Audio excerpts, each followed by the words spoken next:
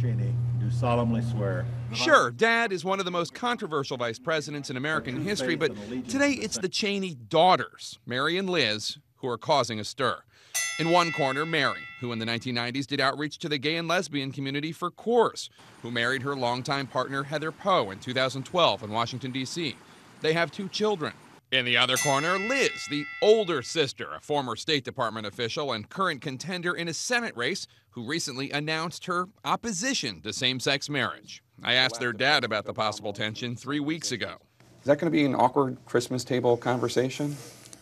well, I, uh, my position on, on, that issue is well known. Uh, I enunciated it in 2000, a debate with Joe Lieberman. I think we ought to do uh, everything we can to, to tolerate and accommodate uh, whatever kind of relationships people want to enter into. It hasn't changed, and uh, I'll let my daughters speak for themselves. And boy, are they. Sunday afternoon on Fox News, Liz Cheney states her position. I do believe in the traditional definition of marriage. I love Mary very much. I love her family very much. This is just an issue on which we disagree. Later, Mary's wife, Heather, responds on Facebook saying, When Mary and I got married in 2012, Liz didn't hesitate to tell us how happy she was for us. To have her now say she doesn't support our right to marry is offensive, to say the least. 20 years ago, Phil and I were married here in Wyoming. Heather even took a veiled shot at what opponents describe as Liz's carpetbagger status in Wyoming. I can't help but wonder how Liz would feel if, as she moved from state to state, she discovered that her family was protected in one but not the other. And almost immediately after Heather's posts, Mary jumps in for some Facebook feather ruffling of her own, writing, Couldn't have said it better myself. Liz, this isn't just an issue on which we disagree. You're just wrong and on the wrong side of history.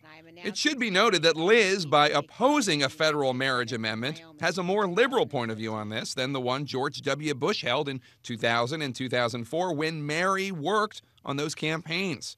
Bush Cheney 2004 was a campaign criticized by gay and lesbian rights groups for using opposition to same sex marriage as a way to rally conservative voters to the polls.